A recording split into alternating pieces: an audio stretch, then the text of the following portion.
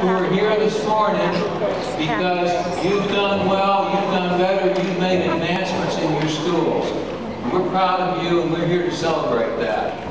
The Upward Bound program is a joint program of the six Rotary clubs in Citrus County and the Citrus County School System.